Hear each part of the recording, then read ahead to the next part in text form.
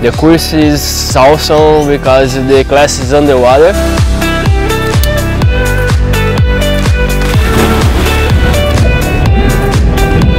It's what I love.